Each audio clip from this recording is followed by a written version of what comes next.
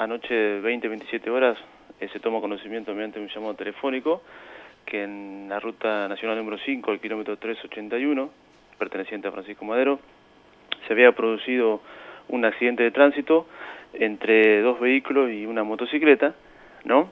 A raíz de eso se puede establecer a prima fase que resultaba ser una camioneta la cual llevaba un chango y por detrás de este era otro vehículo marca Boyac que tenían sentido eh, Francisco Madero Peguajó. A raíz de que ellos sufren un accidente primeramente, el chango realiza una mala maniobra y eh, colisiona la motocicleta que tenía sentido eh, Peguajó Francisco Madero.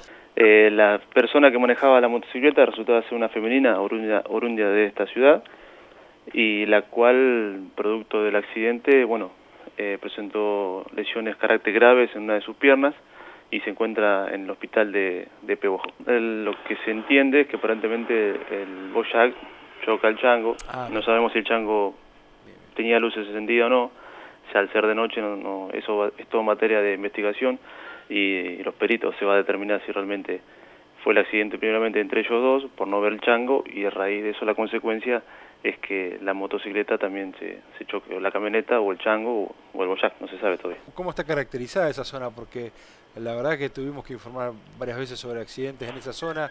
¿Cómo es la característica? ¿Se en la curva? ¿Cómo está la visibilidad? Eh, sí, el tramo que corresponde a, a Francisco Madero, bueno, se encuentra bueno, pero después del kilómetro 391-95 se sabe que está haciendo eh, la, cinta asfáltica nueva, ¿no? ya perteneciente a paso y por ahí también a veces en esos sectores se producen también distintos accidentes por no tener visibilidad la, y ni estar marcada la, la cinta asfáltica. Pero sí, en la ruta 5 de estos tramos a veces ocurren este tipo de accidentes.